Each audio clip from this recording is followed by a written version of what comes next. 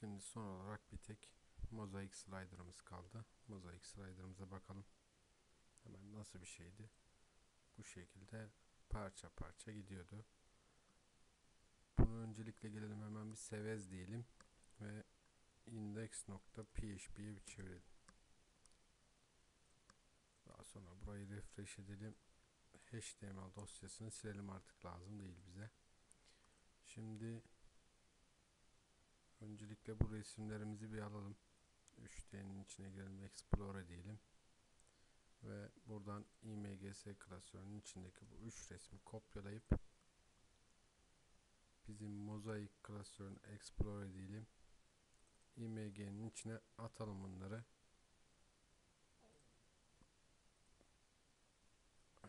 Daha sonra gelelim buradan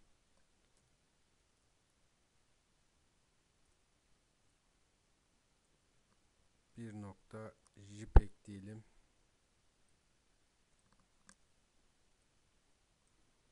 iki nokta jpeg diyelim ve 3 nokta jpeg diyelim. 4'ü silelim. Şuradan da virgüle kadar olan kısmı silelim. Burayı şu şekilde bir açalım. Ctrl S ile kaydedelim. Şimdi tekrar F5 diyelim. Artık HTML değil. PHP bizim sayfamız. Şimdi bir bakarsak bizim resimlerimiz geldi. Resimlerimizin boyutlarından kaynaklanan bir sıkıntı olabilir. Şöyle bir şey yapalım onun içinde. F12 diyelim. Bir bakalım resimlerimiz neyin içinde? Mozaik slide'ın içindeki img'ler diyelim. Style CS Open diyelim. Mozaik slide demiş. Mozaik slide'ın içindeki img'lerle ilgili herhangi bir şey var mı? Yok. Bunu kopyalayalım ve yapıştıralım. İçini boşaltalım. Mozaik slide'ın içindeki img'ler. Bakarsak e, bu resimler sağ tıklayalım özellikler diyelim. 240'a 210'muş. O zaman img'lere ne diyelim? Viti pardon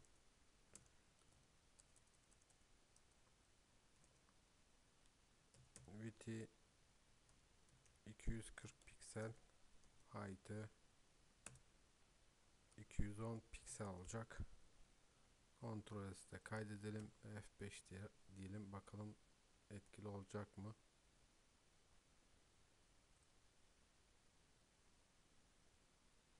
Mozaik slide'ın içindeki tabi img olmuyor. Hepsi tile olarak geliyor. O zaman şöyle yapalım. Bunları Dreamweaver'da bir açalım. Mozaik slide'da resimleri boyutlandırmak istiyorum. Tutalım bunları Dreamweaver'a bir atalım. Kaçtı? Biti 240, yüksekliği 210. Biz genişliğini 240 piksel yapalım. Yüksekliğinde 210 piksel yapalım. Fit canvas diyelim ve kaydedelim. Şimdi diğerlerine de 240'a 210 diyelim. Boş alana tıklayıp fit canvas diyelim ve kaydedelim. Diğerine de aynı 240'a 210 piksel olacak. Fit canvas S. Şimdi, şimdi F5 dersek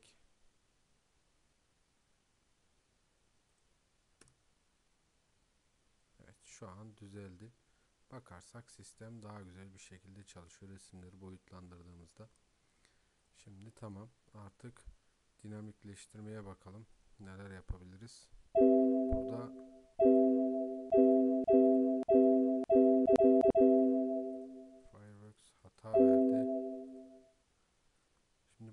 bakarsak style'ı da kapatalım. Bir e, dizi oluşturulmuş burada. Bu dizide JavaScript dizi oluşturulmuş.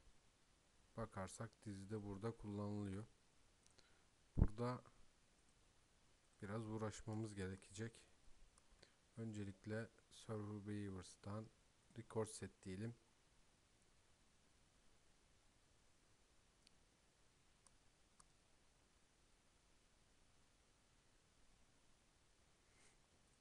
Kayıt seti oluşturalım. RS slider olsun.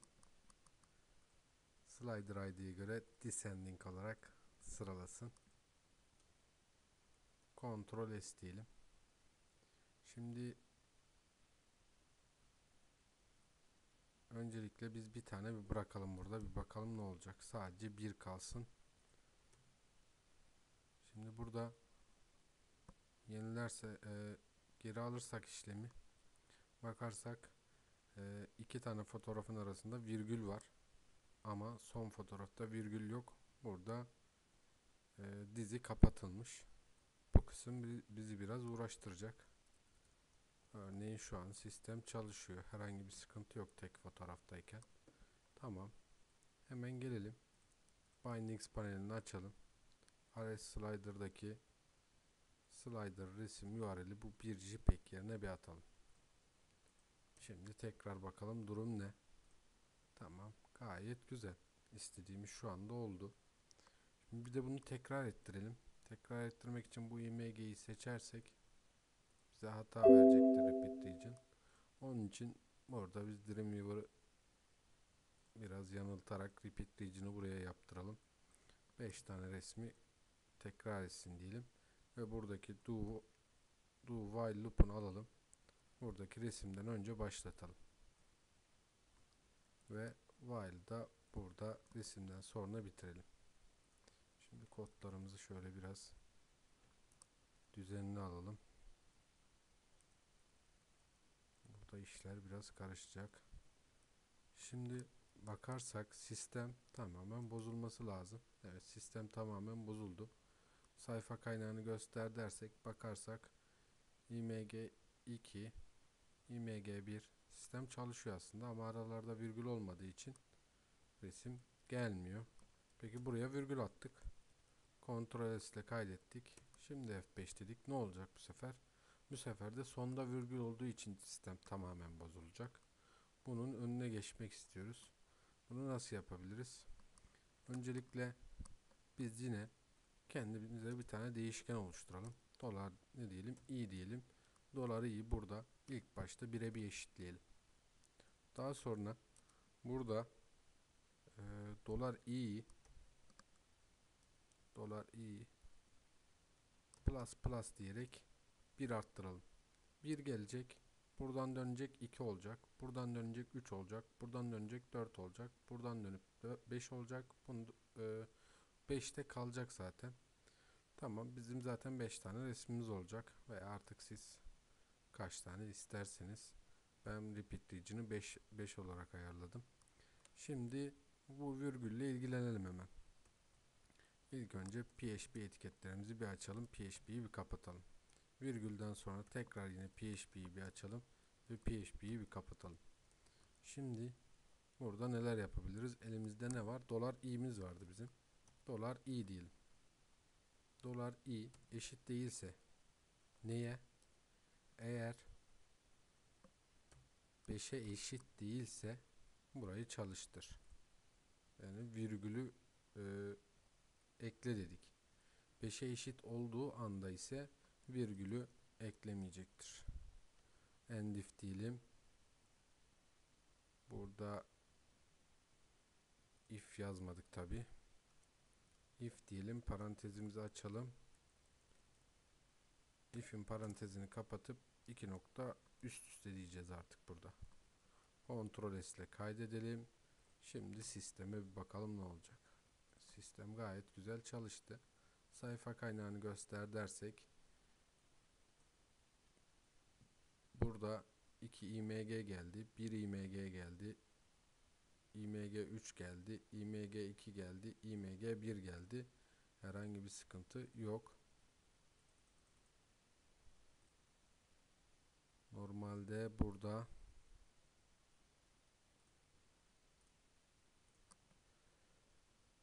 koda tekrar geçelim. Virgülden sonra bir alt satıra geçmesi lazım. Şimdi F5 dersek ve sayfa kaynağını göster dersek artık burada da alt satıra geçti. Gördüğümüz gibi bizim e, burada bizim i'miz dolar i'miz 1 burada 2 burada 3, burada 4, burada 5. Burada 5 olduğu için de artık virgülü yazdırmıyor. Sonuna bunu ekliyor. Şimdi bakalım sistem gerçekten düzgün bir şekilde çalışacak mı? Hemen gelelim bir tane daha ekleme yapalım. Herhangi bir şey yazalım ve buraya da kendi orijinal resimlerinden bir resim ekleyelim. Slide 1 PNG diyelim örneğin. Slide 1 nokta PNG. Ctrl S ile burayı da kaydedelim ve şimdi F5 dersek şimdi sayfa kaynağını görüntülersek slide 1 PNG birinci resmimiz. Yani burada dolar i'miz 1, burada dolar i'miz 2, burada dolar i'miz 3, burada dolar i'miz 4, burada dolar i'miz 5 oldu ve burada artık virgülü koymadı. Buradaki sıkıntıyı da bu şekilde atlatmış olduk. Şu arka plan gözüme pek hoş gelmiyor artık. Bir kaldırmak istiyorum onu da. Background color. Ctrl X ile kestim. Ben background color'ı kaldırmadım mı? Kaldırdım. Ctrl S ile kaydedelim. Şimdi bakarsak background color artık gitti. Resmimiz yavaş yavaş bu şekilde bizim verdiğimiz ölçülerde ve bizim belirlediğimiz satır ve kolon sayısı kadar bir şekilde güzel bir geçiş sağladı. Şimdi hepsini bir kapatalım artık. İşlemimiz kalmadı galiba. Bakalım neler yaptık. Açık kalsın. Şimdi localhost diyelim. Localhost ve slider diyelim. Buradan hepsini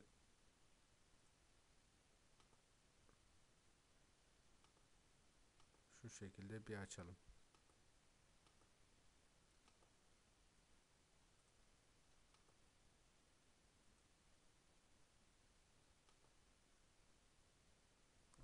Mozaik açtık.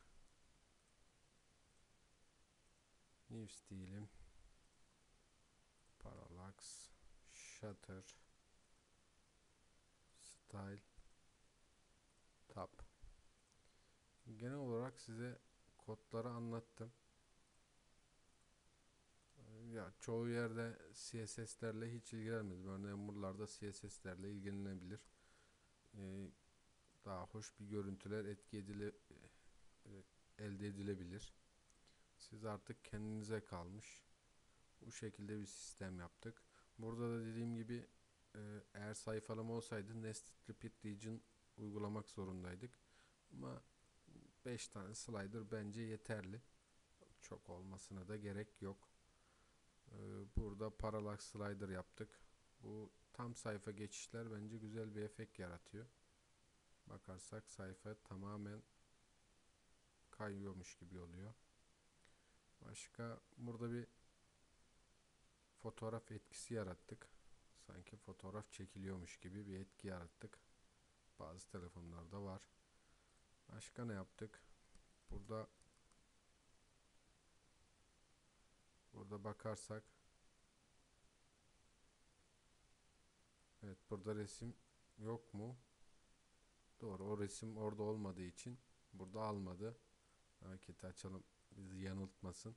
Slide 1 hiçbir klasörümüzde yok bizim şu an için. Şimdi F5 dersek sistem artık düzgün bir şekilde çalışacaktır. Bu da güzel bir slider. Buradaki sayıyı 6 yapabiliriz. Eğer 6 yaparsak büyük ihtimal tamamını kaplar. Buradaki renkleri dediğim gibi ayarlayabiliriz. İstersek bunu tam terse de alabilirdik aslında. Bu tarafa alabilirdik. Yani buradaki caption alanını değiştirebilirdik. Resime bu köşesine ovallik verebilirdik ve UL'nin de bu köşesine ovallik verebilirdik. Artık size kalmış. Siz kendinize göre geliştireceksiniz. Burada bir tane tab e, slider yaptık. Tab menü tarzında, tab panel tarzında. Bu da kendinize göre geliştirilebilir artık. Bundan sonrası yine size kalmış. Burada bakarsak 3D efektleri olan bir slider yaptık. Dinamik bir hale getirdik bunu da. Başka akordeon yaptık. Akordiyonda sistemi bir adım daha öteye götürdük. Akordiyonun buradaki renklerini panelden e, girilebilir bir şekilde yaptık. Ve akordiyonda şu anda bakalım herhangi bir sıkıntı yok. Gayet güzel. Daha sonra farklı bir efekt tarzı bu da. Böyle bir slider yaptık.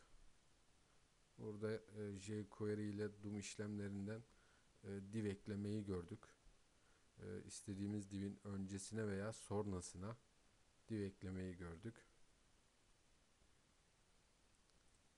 Başka bu, bu tarz bir slider vardı. Tasarımı hazır bir slider'dı ve biz bunu tasarıma benzettik. Bu şekilde. Başka bir de tam sayfa slider'ımız vardı bizim. Bizim denememiz yine burada da gelmiş. Şöyle iptal edersek bakarsak bu şekilde bir e, fotogaleri tarzında bir slider diyelim. Daha sonra tekrar F5 diyelim. Böyle bu şekilde yine 3D efekt olan bir slider dinamik hale getirdik. Biz e, bir de burada mozaik slider yaparak eğitimimizi tamamladık.